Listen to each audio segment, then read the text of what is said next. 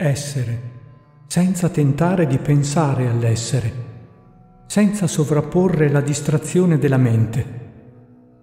Afferra quella percezione dell'io sono, quell'essere, radicati in esso e contempla solamente questo. Butta via tutto il tuo parlare, i tuoi concetti e le parole. Dopotutto, che cos'è la mente? Non è altro che l'incessante rumore interiore nel momento in cui ci si sveglia, comincia il chiacchiericcio e così la parola procede senza sosta. Questa è la mente, tu gli corri dietro. La mente che interpreta il piacere e l'infelicità è fatta per condurre gli affari nel mondo. Il sapere che tu sei è manifesto e pervade tutto. È più puro e più sottile di questa luce e perciò può averne coscienza. Siccome tu sei radicato nella memoria individualizzata, sei incapace di comprendere questo sapere e conseguentemente non hai pace. Il tuo corpo, che è un recipiente di cibo, non è te, ma il senso dell'essere te che vi risiede. Quello sei tu nella tua essenza. Tu non sei capace di rinunciare alla tua identità con il corpo. Questa è la grande Maya, l'illusione per questo motivo non riesce ad assorbire quello che dico. Essere significa percepire se stessi come l'intero dinamico universo. Quando si trascende l'individualità, l'essere manifesto è uno solo ed è in questo processo che l'immanifesto rivela se stesso. Questo mondo manifesto è il gioco dinamico dei cinque elementi non vi è alcun ruolo da compiere per l'individuo. Un diamante riflette la luce tutta attorno, è la radiosità stessa. Nella meditazione profonda ti renderai conto che così come la brillantezza emanata da un diamante viaggia in tutte le direzioni, il mondo manifesto è emanato da te. Si tratta solamente della tua luce.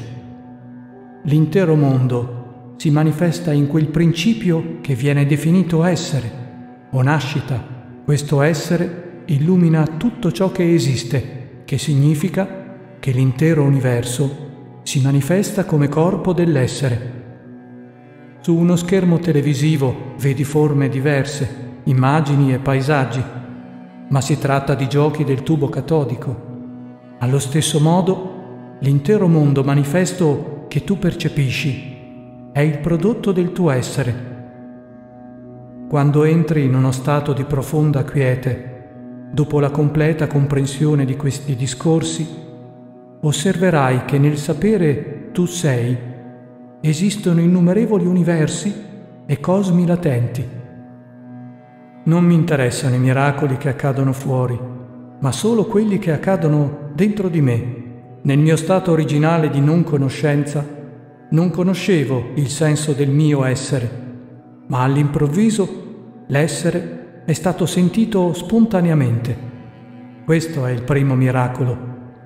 Successivamente, in un lampo, ho osservato questo enorme mondo manifesto e il mio corpo. Poco dopo ancora ho avuto la consapevolezza che l'intero universo si è manifestato nella particella infinitesimale del mio essere. Perché non prestare attenzione a questi miracoli? Ne accadono una gran bella quantità, ognuno più grande del precedente. A cosa dire di questi? Per prima cosa, non c'era un io sono e non c'era nemmeno il mondo. Istantaneamente, dal nulla, il messaggio io sono e questo mondo magnifico si sono materializzati. Che cosa incredibile! La mente di colui che risiede nella conoscenza dell'io sono, gustando continuamente questo nettare, quella mente che asserisce e differenzia le persone, osservandole come uomini e donne, gradualmente non si troverà più al centro dell'attenzione, lasciando la coscienza nella sua gloria innata.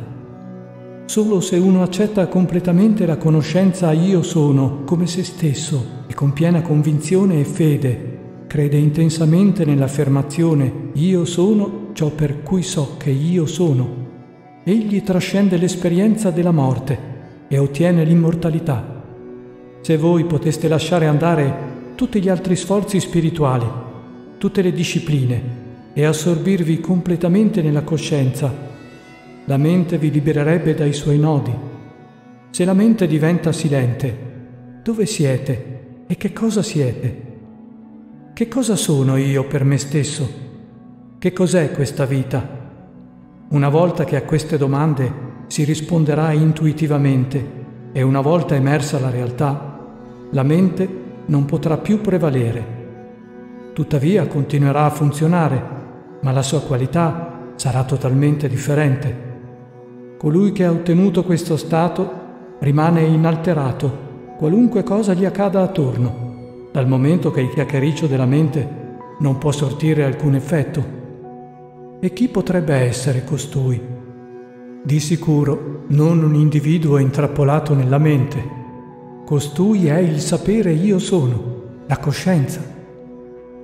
Si dice che dovremmo rompere i lacci che ci tengono legati al corpo e al mondo. Che cosa significa questo? Che qualsiasi cosa si veda o percepisca accade nella dimensione corporea o mondana.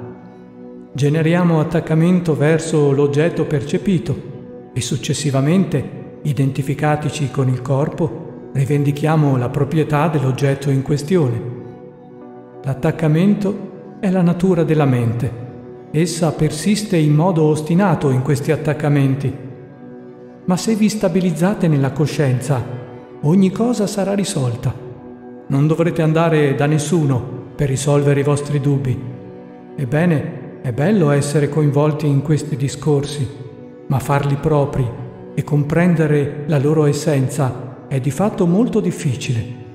Perché?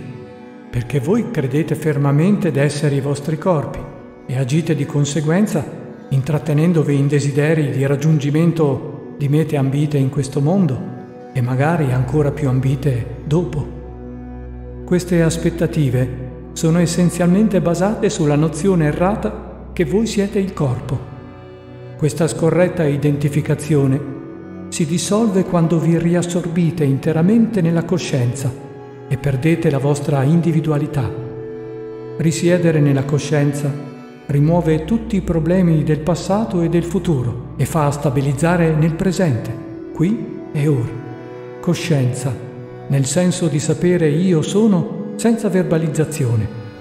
Un sapere che appare all'insaputa e senza essere sollecitato si tratta della forza vitale universale, manifesta e perciò non può essere individualistica. Si estende fuori e dentro, come la brillantezza di un diamante. Se la coscienza prevale, voi vedete un mondo onirico dentro di voi e un mondo percepibile all'esterno. Dalla prospettiva del corpo, voi potete dire dentro e fuori quest'ultimo, ma dal punto di vista della coscienza, dov'è che si può parlare di dentro e di fuori. Soffermatevi su questo sapere io sono, e la fonte della conoscenza strariperà in voi, rivelandovi il mistero dell'universo. In questo processo di rivelazione, la vostra personalità individuale, definita dal corpo, si espanderà nell'universo manifesto e pervaderete e abbraccerete l'intero cosmo come vostro corpo. Questa dimensione è conosciuta come pura superconoscenza. Ciò nonostante, la mente si rifiuta di credere che è una non entità, ma non appena si sprofonda nella coscienza, si sviluppa la ferma convinzione che la conoscenza tu sei, il senso del tuo essere, è la vera origine del tuo mondo. Solo questo sapere vi fa sentire che voi siete e che il mondo è. Nella realtà, questa conoscenza manifesta, avendo occupato e permeato l'intero cosmo, risiede in voi come sapere tu sei. Radicatevi in questo sapere. Non cercate di definirlo o di dargli dei nomi.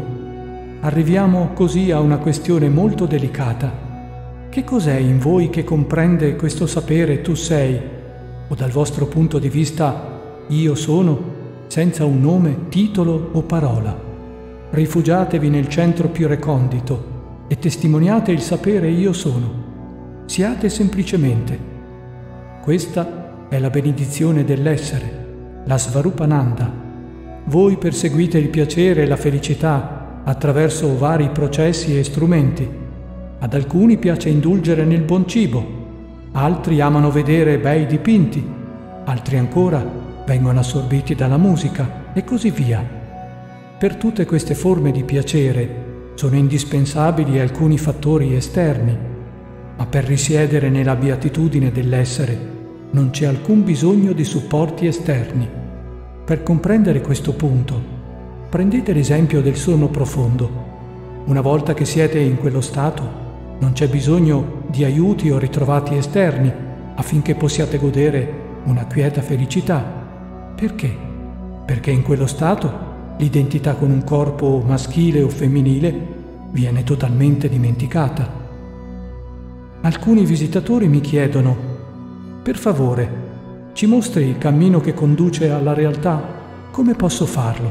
Tutti i sentieri conducono all'irrealtà. I sentieri sono creazioni nel campo della conoscenza, perciò sentieri e movimenti non possono trasportarvi nella realtà. La loro funzione è quella di trattenervi nella dimensione conoscitiva, mentre la realtà le è precedente. Fino a quando non avrete raggiunto questa dimensione, rimarrete impigliati nelle catene della vostra mente e intrappolati in quella degli altri. Perciò lo ripeto, stabilitevi all'origine del vostro essere e solo allora tutte le catene saranno spezzate e sarete liberi, trascenderete il tempo, sarete oltre la portata dei suoi tentacoli e prevarrete nell'eternità. Si tratta di uno stato di estatica beatitudine, il sé che risiede beatamente nel sé. Questa estasi è oltre le parole, è anche consapevolezza nella totale quietitudine. La quintessenza di questo discorso è chiara. Il punto principale è il sapere che voi siete prima dell'emanazione della mente. Rimanete in questo sapere e meditate. Nulla è superiore a questo.